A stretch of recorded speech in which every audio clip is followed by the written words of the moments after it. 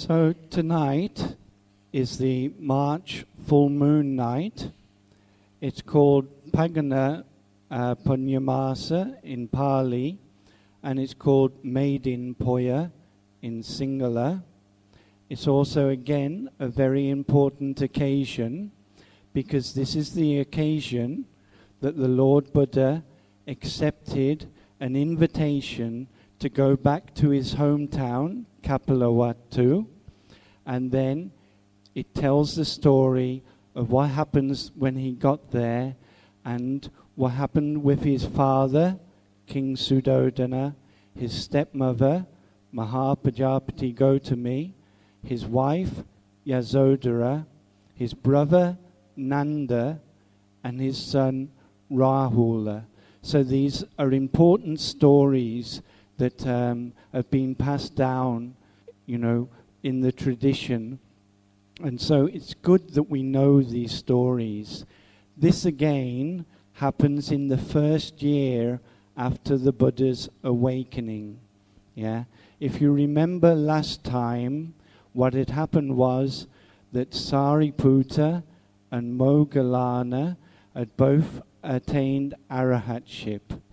And they had come to the Buddha, and there had been a big gathering of monks 1,250 monks gathered on the full moon night in February. Yeah. And the Buddha gave the Ovada Patimokkha. It's a very important teaching because all the Buddhas actually give that teaching. They don't all teach the Patimokkha in extension, but they all give this shortened teaching uh, for the monastics to live by. You know, the Buddha's teaching was very, very successful at the beginning of the Sasana. Uh, that 1,250 monks, the majority of them became, came from the Kassapa brothers, the three Kassapa brothers who converted with their own followers. Uh, so they all converted and they all went to Rajagaha, which is where this assembly took place. But following that assembly, also the Buddha's teaching was very, very successful in Rajagaha and in Magadha in general. And thousands of young men were flocking to listen to this new teaching that the Buddha was giving. They were attaining various stages of awakening and they were ordaining. In fact, it had even become something of a problem, and people were complaining that all the young men in the state were ordaining, and there was nobody to uh, do the work or fill the armies and so on and so forth, like this. Now, the fame of the Lord Buddha also spread out from Magadha to various other parts of the country as well into other kingdoms.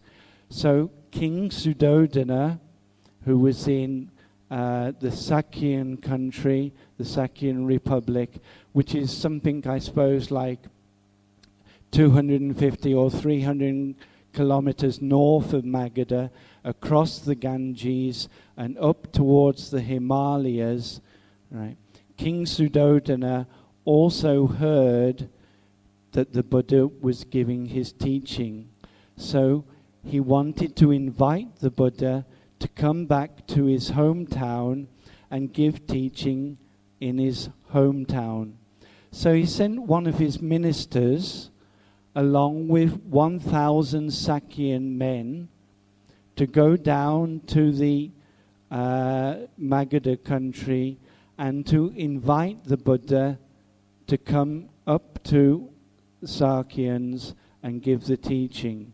So they went down and they uh, went into Veluvana, which was the first monastery that had been set up in the Sasana. It had been given by King Bimbisara. And they went to Veluvana and then they heard the Buddha teach. Yeah. And all 1,001 of them attained arahatship on the spot. And because they attained arahatship, they forgot to give the message. Okay, so the message didn't get through. So the king seeing that nobody had come back, sent another minister with another 1,000 of his men to go and invite the Buddha, and same thing happened, and again and again. Nine times it happened, right? And then eventually, King Suddhodana asked uh, Kaludai. Now, Kaludai is a very important figure. There are uh, seven uh, things that arose at the same time that the Buddha arose. Kaludai, who was a minister of Suddhodana, was one of them. Okay? Yasodhara, Siddhartha's wife, also arose on the same day that Siddhartha arose. Ananda, who was the, uh, the, the monk who remembered all the teachings, he also uh, was born on the same day. And then Channa, who led the uh, Siddhartha out from his hometown when he went on his renunciation, also rose the same day. And so did Kantaka, the horse that took the Buddha out. And also four golden treasure pots. So these seven things all arose on the same day that Siddhartha, uh, uh, uh, you know, was reborn. Okay. Uh, so Kaludai was one of those very important, with what you can say is like a heart connection or a very close connection with Siddhartha, with uh, what had now become the Buddha. So uh, King Suddhodana sent Kaludai down to uh, Magadha to invite the Buddha back to uh, Kapilavatthu to come and teach the Sakyans. And then Kaludai and the 1,000 people also attained arahatship. Okay. But Kaludai didn't forget about the invitation. So he gave the invitation and he did it in a very nice way. He recited 64 verses in praise of the springtime in the Sakyan country to make the Buddha remember about his home country and how beautiful it is in the springtime with the flowers blossoming, you know, and all the little creatures running around in the woods and how the uh, sun is shining and everything like this. There's 64 verses that he recited to the Buddha, and then the Buddha said, Okay, I, w- I will come, come back to my hometown and give teachings there. Now, that invitation happened on this full moon night. Yeah. It was on this full moon night the invitation took place. But the Buddha, of course, traveling now with 10,000 Magadhans, arahats, who had ordained, and 10,000 Sakyans, arahats, who had ordained, 20,000 uh, Sangha, they walked from Magadha up to Kapilavatthu. The 20,000 and more of them went back to Kapilavatthu, you see. And they did it slowly. They just walked slowly back uh, to the home country. And it actually took 60 days for them to get there. So you can do the calculation yourself. If it took 60 days, they arrived actually at Vesak, yeah, on the Vesak full moon day. Right?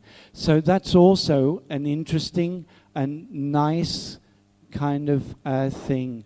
You know, the Buddha at, had his birth at Vesak he had his awakening at Vesak. Later, of course, he would have his parinibbana at Vesak.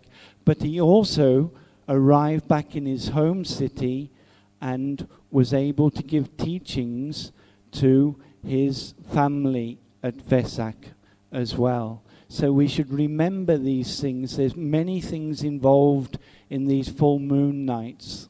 Yeah.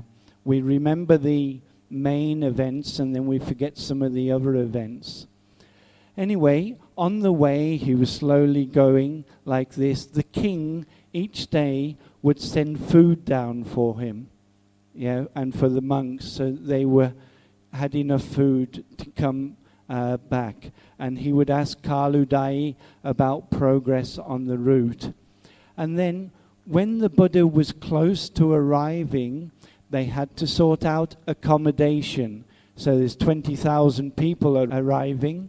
Yeah, you've got to have accommodation for them. So Nigrodha, who was a very uh, senior minister in uh, King Suddhodana's uh, government, he gave his park, and they prepared one big park for the monks to stay in. Yeah. So when they arrived, the park, you see, was not too far from the city, so it's accessible by the lay people. Yeah. And it's not too close to the city, so it's not that the monks get disturbed. It's the right distance, like this. And then it's got streams flowing through it, so there's plenty of water. And there's plenty of trees in the park, so there's shade from the sun and so on and so forth, like this. So, a very suitable place for monastics to be living, you see. So, this Nigrodha Park is where the Buddha arrived.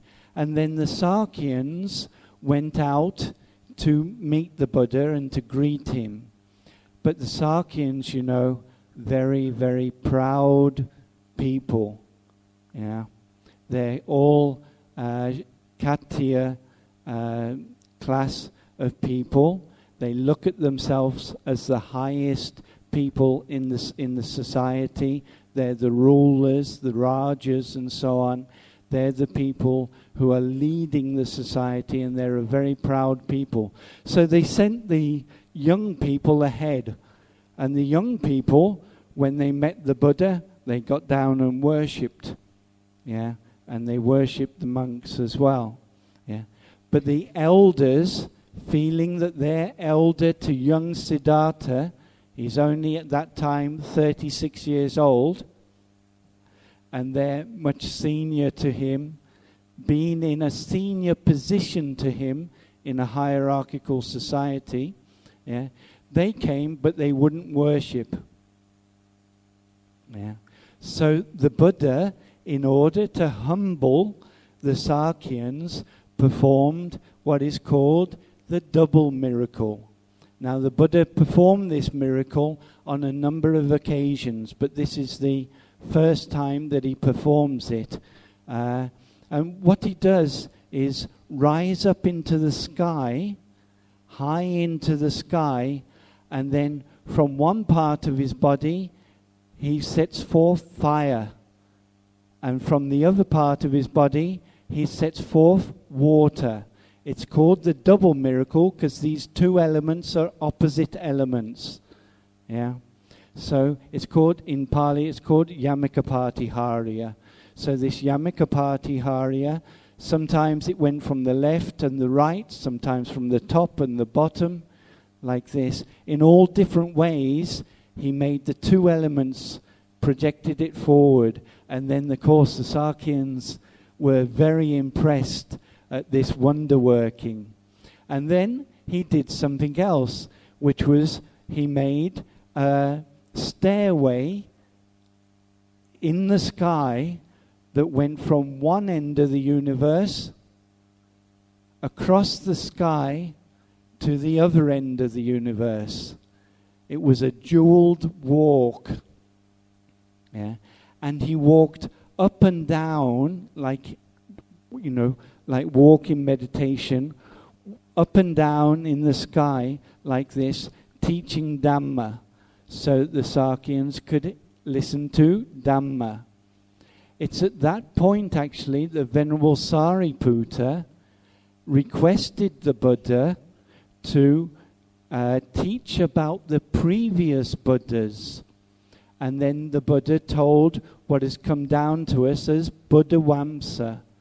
And it's from Buddha Vamsa that we have the stories of the 24 Buddhas who preceded our Lord Buddha. Their stories are told in that text. It's about over a thousand verses long. And it was told on this jeweled walk by the Buddha in front of the Sakyans who were.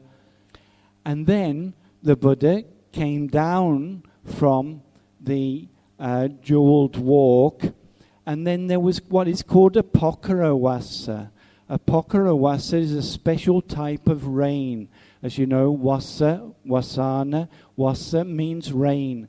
But this was a special rain. Those who wanted to get wet got wet, and those who didn't want to get wet were not touched by the rain at all. So this was called a Pokarawasa. And at that time, the Buddha taught about Vesantara Jataka. Vesantara Jataka includes a Pokarawasa, another occasion where this happened. And the Vesantara Jataka is also another very important teaching because it's the last time that the Buddha was in a human body before he took rebirth in his last life as Siddhartha. In fact, after that Jataka uh, story, he actually went to heaven and was residing in Tusita heaven. But his last human birth was as Visantara. Okay, so the Sakyans were humbled. They saw these miracles, they heard these teachings, and they got down and they worshipped the Lord Buddha and they worshipped the uh, Arhat Sangha. Now, the next day, the Buddha looked around and he hadn't been given an invitation uh, for dana. So he reflected about it and he, uh, he asked himself, what did other Buddhas do in this on these occasions?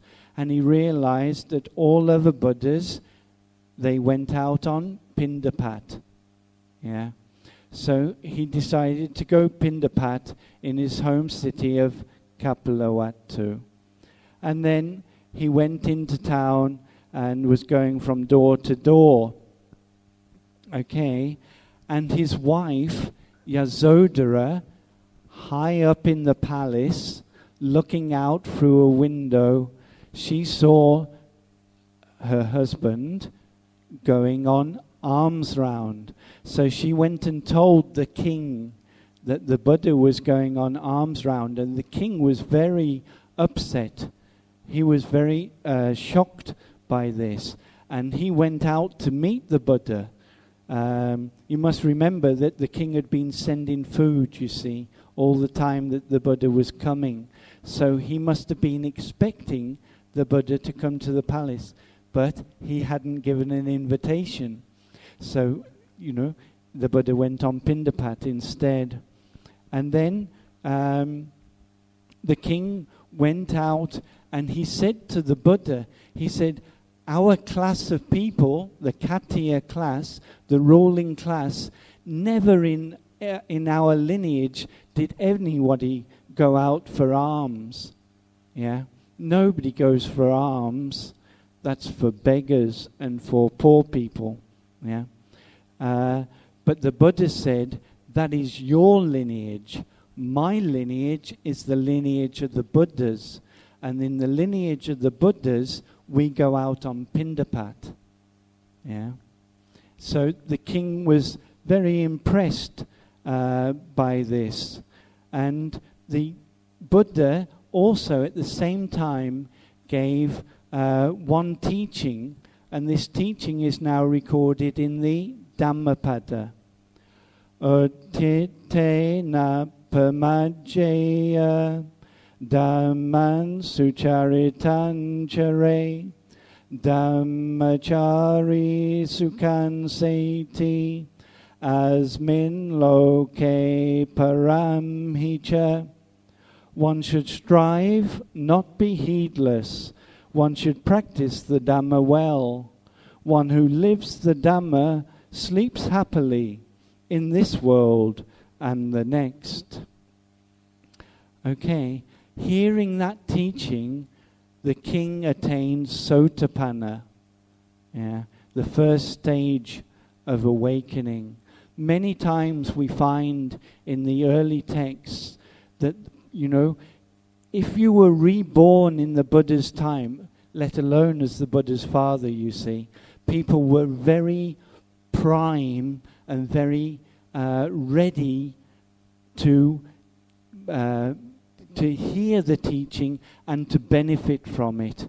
Yeah, even simple gathas, simple verses like this, would just trigger people entering the stream and uh, beginning their journey to liberation.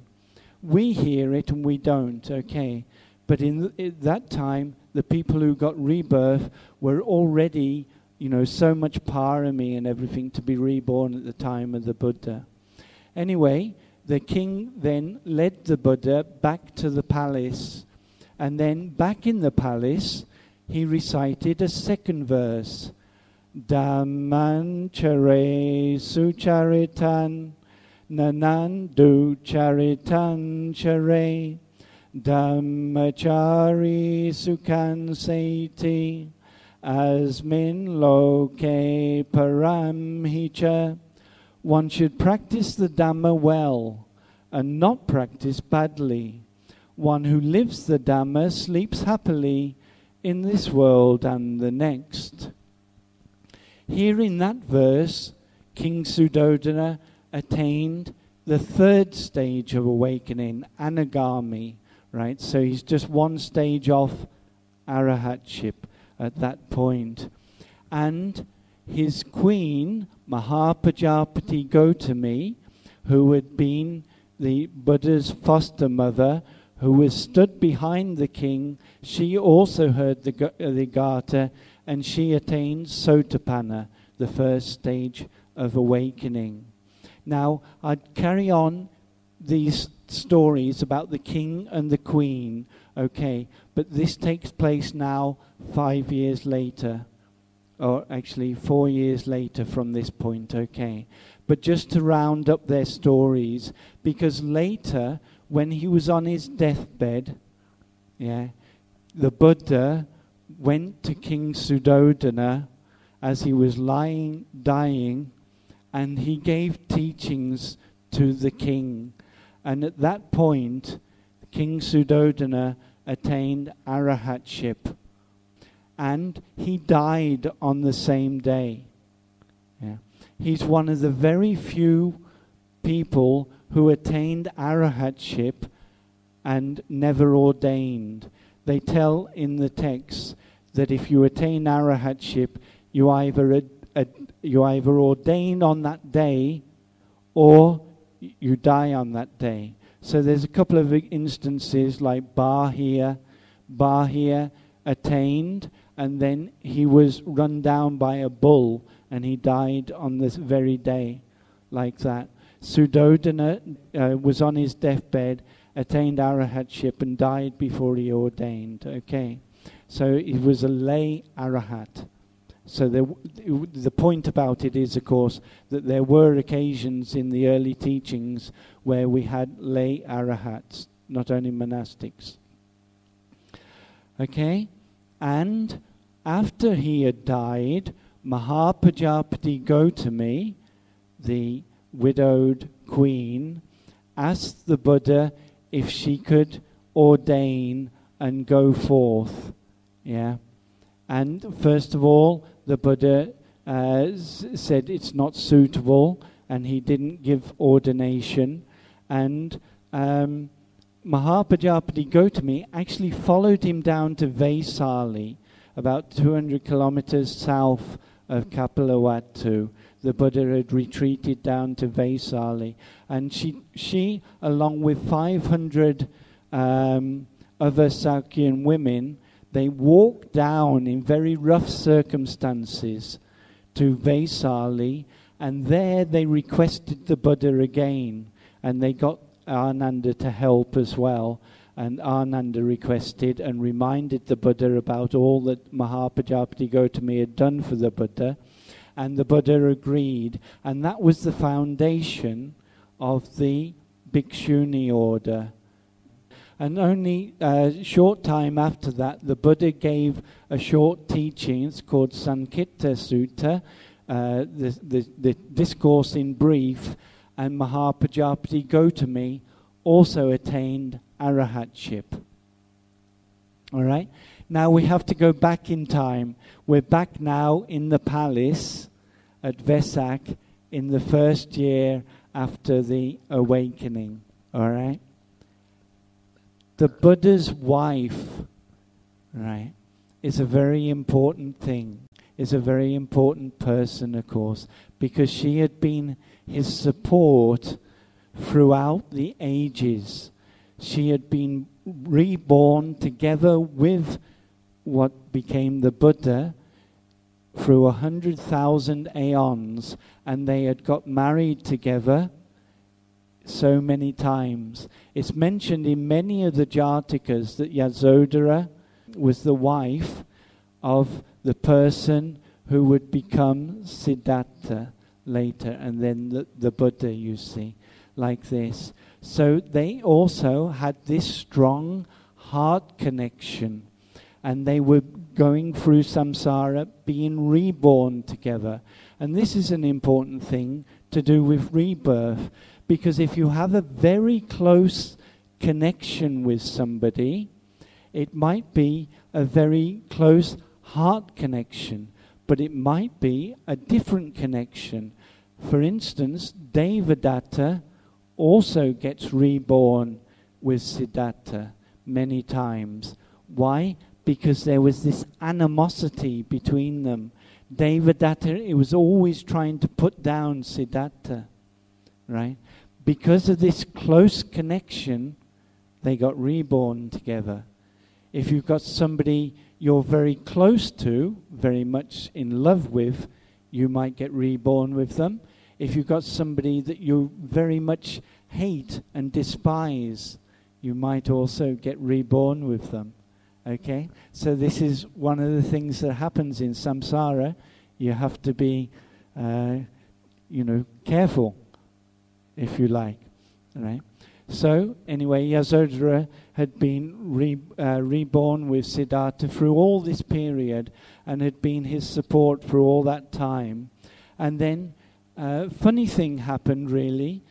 Uh, the Buddha was in the palace. Yasodhara refused to come and see him. And she said, If I have ever been a support for the Buddha, during this long period through samsara, he will come and see me. And the Buddha agreed. Right? So it's quite an interesting thing, I think. The Buddha went to the uh, princess's chambers. And then another very funny thing happened, which was that Yasodhara threw herself at the Buddha's feet and grabbed him round the ankles and cried all over his feet. It's also a very surprising thing that you wouldn't think would have happened because you feel like Buddhas are untouchable, if you like. You know, you can't even touch a monk, you know, and this is the Buddha, you see. But he allowed it to happen. Yeah. And um, then the Buddha at that time told the Chanda Jataka, which is one very famous Jataka where the Buddha, Siddhartha, or the Bodhisattva, if you like, and Yasodhara had been born. This Chanda Kinnari Jataka, also a very important and uh, um, a famous Jataka story. I can't tell it uh, tonight because too much else to tell. But he told that Jataka at that time. Okay. And then just to wind up with Yasodhara's story, again, five years later, when Mahapajapati Gotami had received permission to uh, ordain, Yasodhara also ordained, and she also became an arahat. Yeah. In fact, even when the Bodhisattva had gone forth, Suddhodana told the Buddha, he, he told, told him, you know, when you went forth and you took off your finery, threw it away, and just put on rags at home, Yasodhara also took off her finery and she just put on old clothes. Yeah. And when she heard that the, the Bodhisattva was only taking one meal a day during his austerities, yeah, then Yasodhara herself only took one meal a day. Yeah. And when she heard uh, that the uh, Buddha was not sleeping in a comfortable bed or wearing scents or leading a comfortable life, she also just put a mat, you know, on, on the floor, just rolled out a mat on the floor, and she slept on the floor. And she stopped using perfumes and so on, like this. So, emulating what the Bodhisattva was doing during his uh, period of austerities, you see. So close was their connection, like this. So later, she also, when she could, when the nun's order had been established, she also ordained and uh, she became uh, also a very famous nun uh, uh who could remember, because of this uh, connection, you see, she could remember all the lives that she'd lived with the Bodhisattva, and she was uh, singled out as the person who could remember uh, for one immeasurable period and a hundred thousand aeons the lives that she had lived together with the Buddha, uh, you know, with the Bodhisattva. Okay? That's Yasodhara's story. So now we've got Yasodhara has also attained arahatship. The Buddha also had a brother, a younger brother, who had been born two or three days after he was born, called Nanda. Yeah. When Nanda was born, Mahapajapati, he was born to Mahapajapati Gotami, it was his half brother. Mahapajapati Gotami gave Nanda out for somebody else to suckle, and she took Siddhartha to suckle. Yeah. So she looked after Siddhartha, which was her sister's son, and a nurse looked after her own son called Nanda. Okay, so this is the Buddha's half brother. So as he was leaving the palace after the uh, after all these events that had taken place in the palace, the uh, king had detained Anagami, the uh, queen had detained Sotapanna, uh, and so on and so forth. After all these events, he was leaving the palace. He gave his bowl to Nanda, and Nanda didn't know what to do. He he got the bowl, and he, he doesn't know, you know, he doesn't like to say anything or do anything. So he just kind of took the bowl and he followed after the Buddha. And the Buddha is walking out, you see, to uh, Nigrodharama, like this. And he's thinking, you know, well, anyway, when we get there, you know, I can give the bowl back to the Buddha and uh, it will be okay. Because the next day, Nanda was expecting to be anointed as the crown prince. And not only that, but he was also expecting to get married to his sweetheart. And she waved at him and said, Come back soon, come back soon, like this. And uh, Nanda was looking behind, you know, thinking, I'm going to come back soon, you know. It's my marriage day tomorrow. Right? But when he got to the park, the Buddha actually uh, didn't take the bowl. He called Sariputta and he told Sariputta to ordain Nanda. Right? So Nanda didn't like to say no, yeah, because it's the Buddha, you know. He, he, performs miracles and, you know, walks across the universe and gives all these teachings. And everything like this. He didn't like to say no, so he just had to go along with it, but he didn't really want to ordain because all the time he's thinking about his wife to be and, you know, his nuptials on the next day, on the following day. So, uh, so Nanda, although he was ordained, he was not happy with his ordination and he actually wanted to disrobe. So the story went round that Nanda was unhappy living the brahmachari, the spiritual life, and he wanted to uh, disrobe. So the Buddha, using his skillful means, his upaya, he decided uh, to uh, uh give a special lesson, if you like, to Nanda. And then he said, Come, Nanda, we will go to Tavatimsa. And Nanda said, I can't go to Tavatimsa. I don't have any powers or anything like that. Not like the arahats. He said, you know, I actually, I want to disrobe and go home, you know, like this. And uh, the Buddha said, don't worry. He said, I'll take you by the arm, right, and we'll go up to Tavatimsa. So the Buddha grabbed him by the arm and they started flying through the air. And one of the things they flew over was actually a burned out forest. Yeah. And in this burned out forest, there was a monkey, a female monkey, sat on the branch of a tree.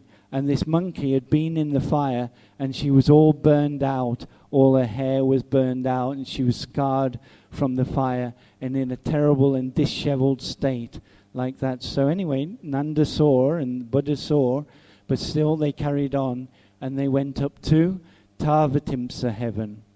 And when they were in Tavatimsa heaven, the Buddha showed 500 apsaras, you know, heavenly maidens, if you like, beautiful, uh, heavenly females in heaven. And the Buddha said to Nanda, you know, who is more beautiful, these 500 apsaras, heavenly maidens, or your wife to be?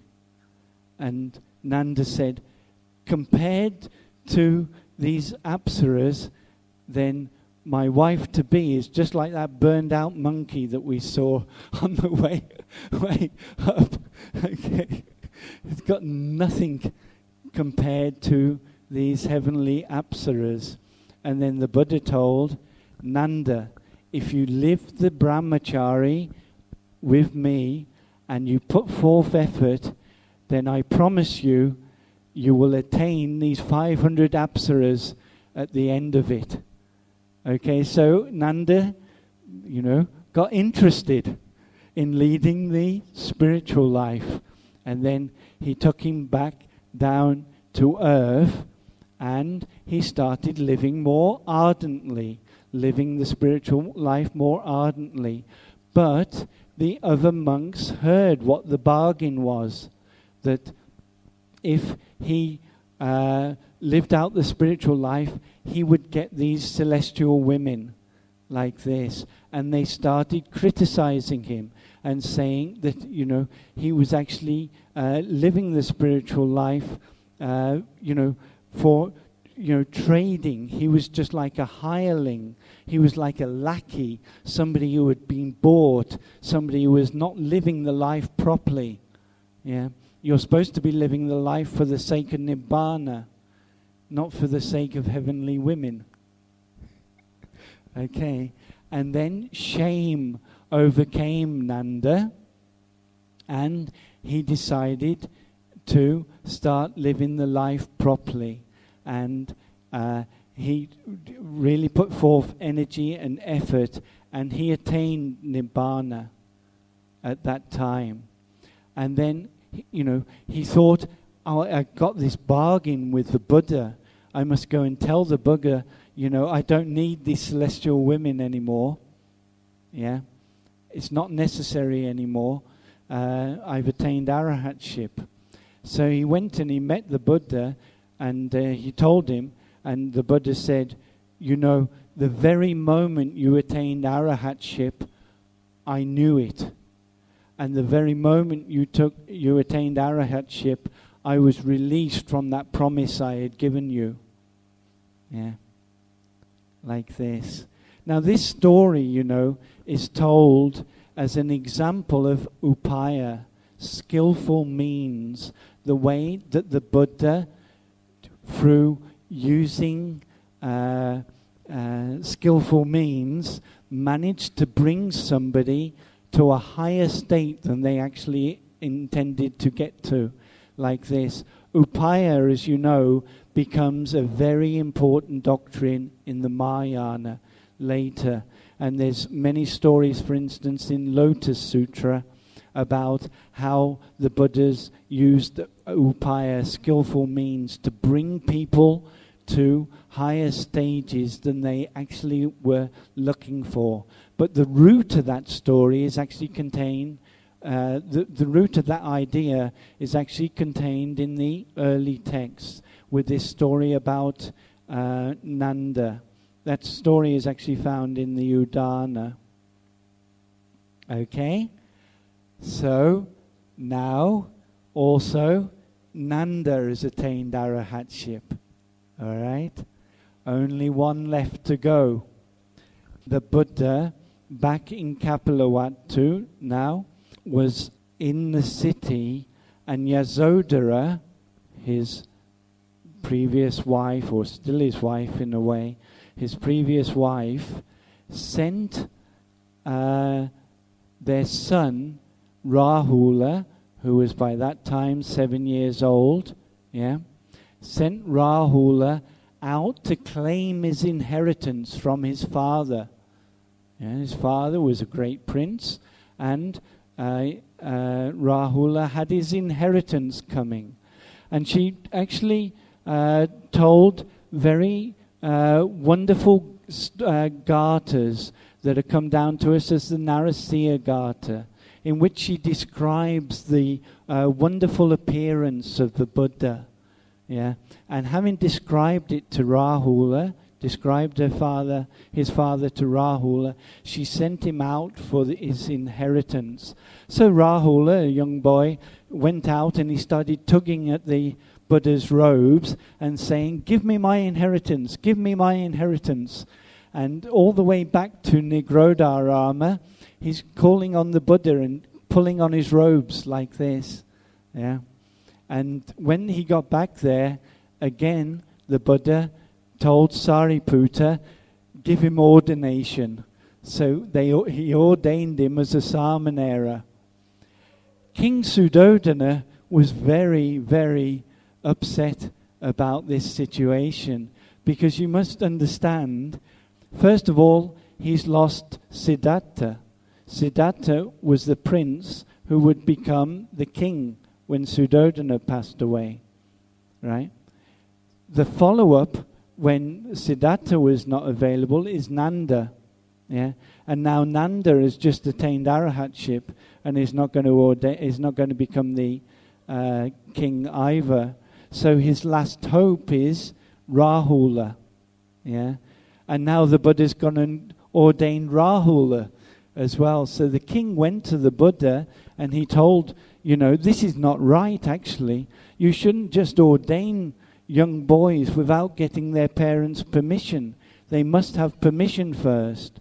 And you know, now, even to this day, it's, it's necessary for anybody to ordain, even they're my age, even, you know, they're 60 years old, if their parents are alive, they must have the permission of their parents. Yeah. They cannot simply ordain. They must have permission from their parents. And the reason for that is because of this situation that arose with Rahula. Now, Rahula ordained, and there's many teachings in the Tripitaka, uh, a number of suttas that were taught to Rahula, uh, Chula Rahulovada Sutta, the Maharahul Owada Sutta, and a number of other uh, very important suttas in the Majjhima Nikaya and elsewhere. Um, these suttas were taught to Rahula, and uh, he developed meditation and so on and so forth. And when he came 13 years later, he was 20 years old, he was eligible for Upasampada, Bhikshu ordination.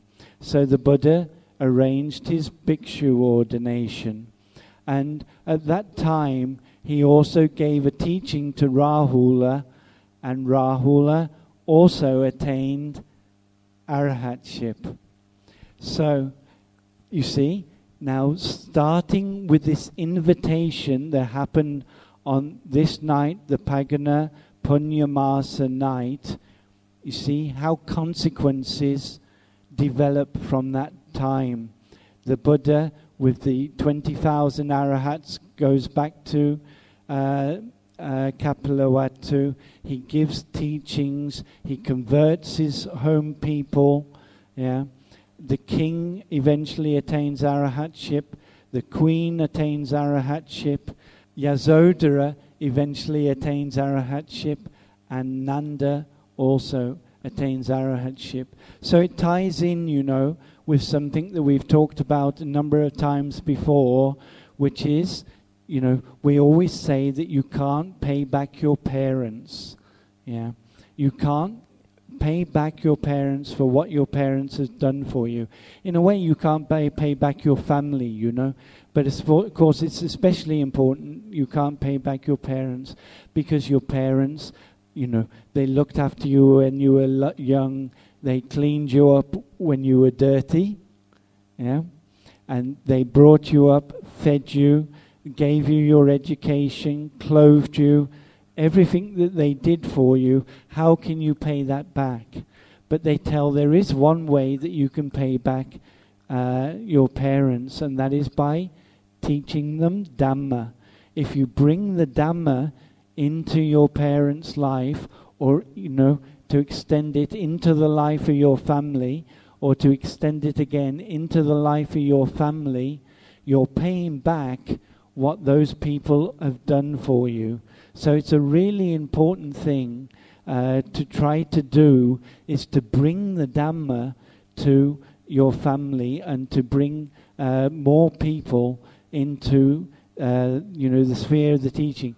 In a way, it doesn't mean that they become Buddhist. You know that's not important. If if they stop doing bad things and they start doing good things, and they do something about developing their mind, doesn't matter what they call themselves. Yeah, those are the important things. Yeah, they they must, you know, put aside bad things. It will only lead to bad things happening to them. Nobody wants bad things to happen to their parents. Nobody wants bad things to happen to their family or friends. Yeah. So there's various ways that it can be done. Of course, you can uh, bring them to Dhamma teachings. You yourself can give Dhamma teachings to them if you can't preach or anything like that. It doesn't matter. You can also pass out Dhamma books. Yeah.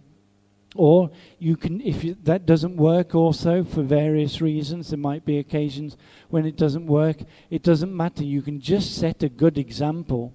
If people see that you yourself have benefited from the Dhamma, yeah, they themselves will be inspired to follow uh, the teachings. They will see that the teachings have made a difference in your life, and they will be inspired to inquire more and to uh, live out the life themselves.